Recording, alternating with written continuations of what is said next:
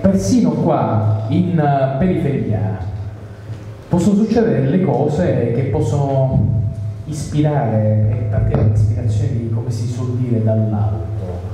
Come ad esempio quella volta in cui ho incontrato Gesù. Quello vero? No, non ho sbattuto la testa. Vi giuro che era lui, davvero. Eh, la barba, i capelli lunghi? Mm, no, non c'erano le colombe bianche. Mm, non era con la tunica bianca. Non aveva neanche la corona di spine ma era lui. Stava su via dei Castani alla fermata dell'autobus. Vi giuro che era lui. Anch'io quando l'ho visto non ci credevo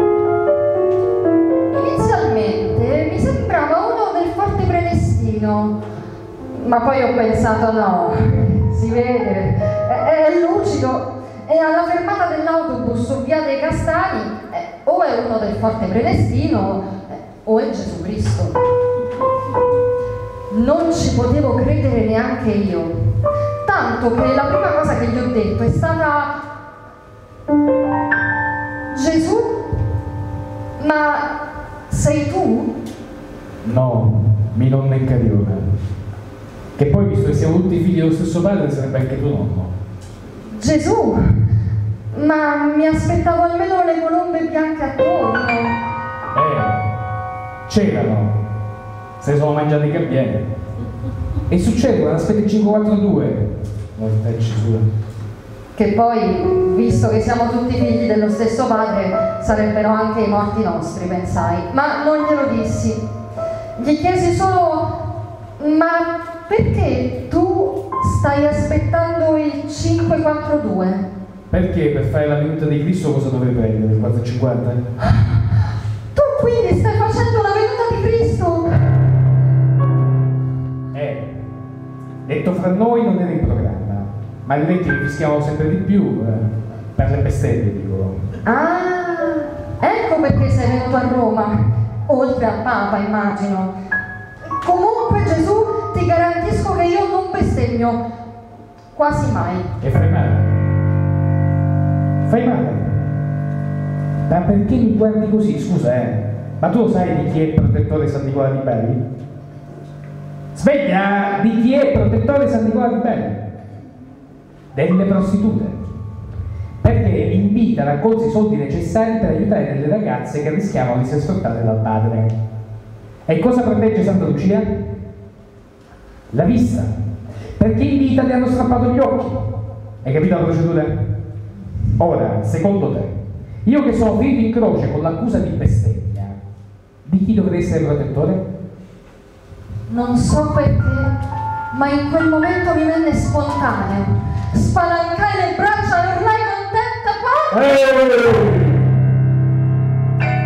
è questa conversione improvvisa? Devi bestemmiare con metodo. Bestemmia, ma con moderazione.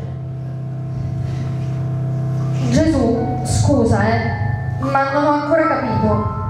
Tu vuoi fare la venuta di Cristo iniziando su un autobus? Altri ripeto non devo iniziare, io me ne sto andando.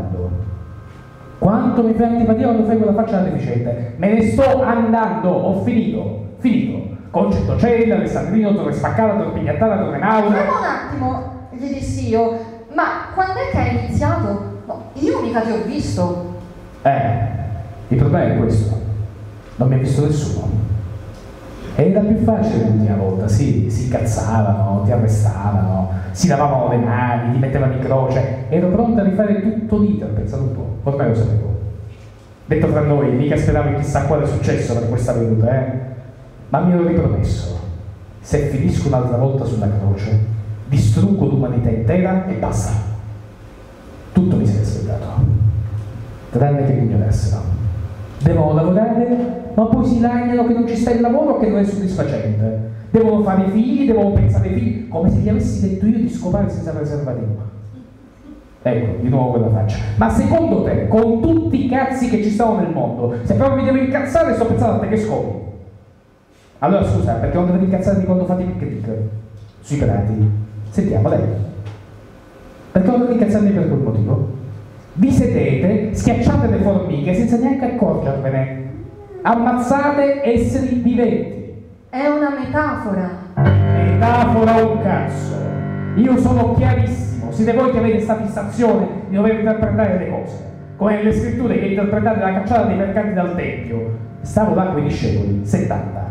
Mica gli apostoli che erano 12, i discepoli erano 70 in 70 a sfasciare tutto il mercato, che era la fonte di sostentamento principale del luogo più grande e importante di tutta Gerusalemme. Beh, un gesto simbolico. Si chiama attentato terroristico, azione di lotta.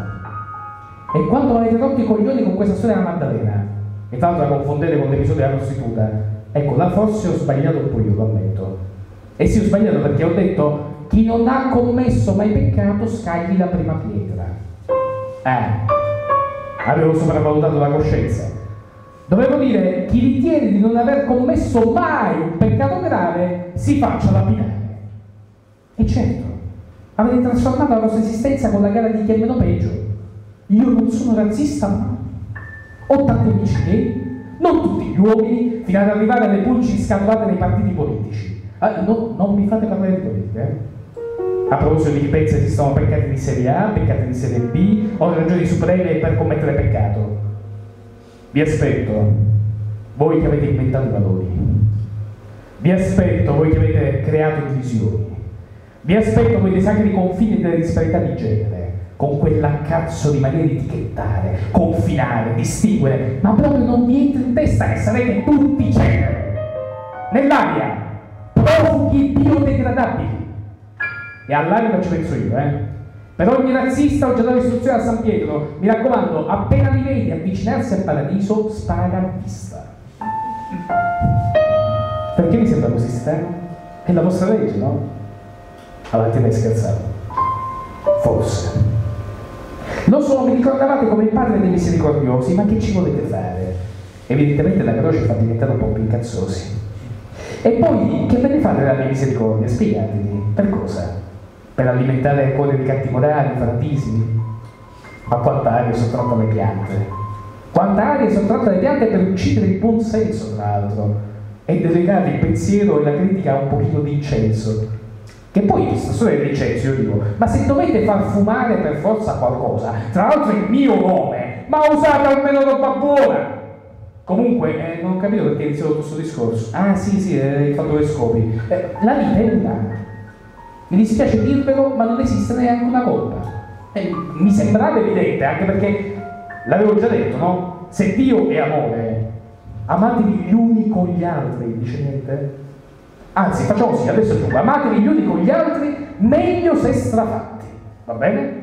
Così vedrete finalmente il tanto agognato Spirito Santo, ci sarà la pace in terra, l'amore sarà immenso, basta e non vi senta più parlare di regno dei cieli è un controsenso che c'entra il potere con me.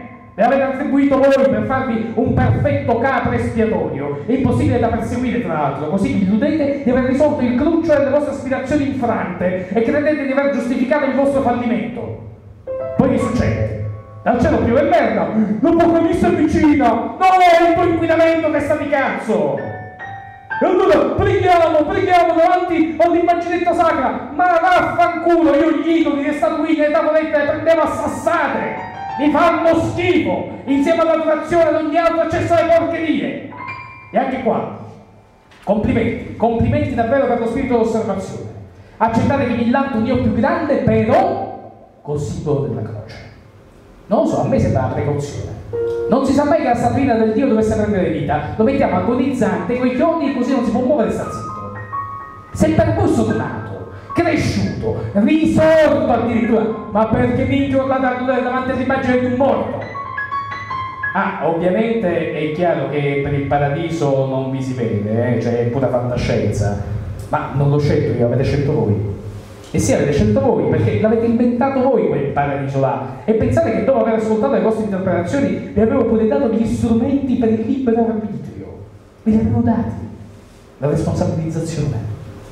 No, non basta la responsabilità, devi esserlo tu. E deve esserlo anche il prossimo tuo. e se non lo è, sono cazzi tuoi perché se il prossimo tuo non è responsabile, il tuo paradiso diventa inferno.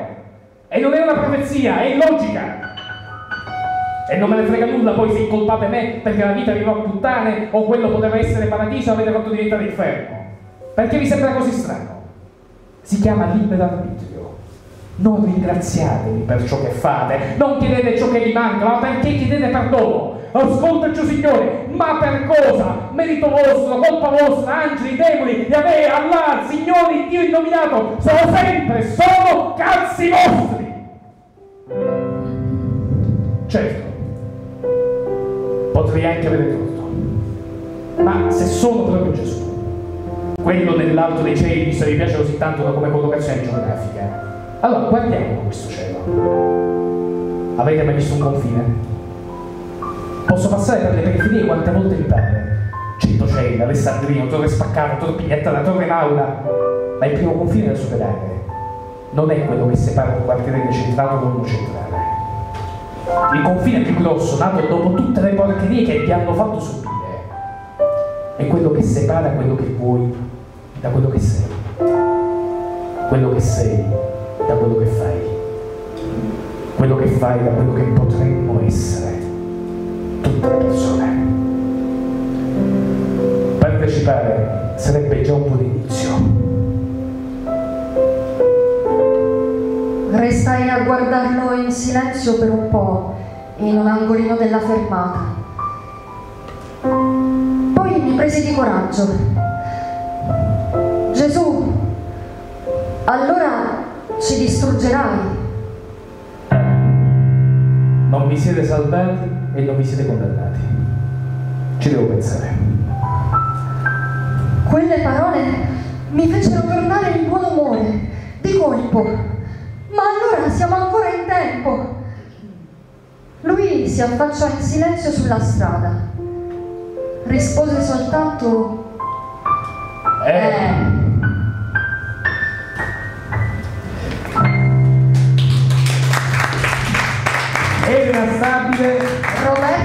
Eh.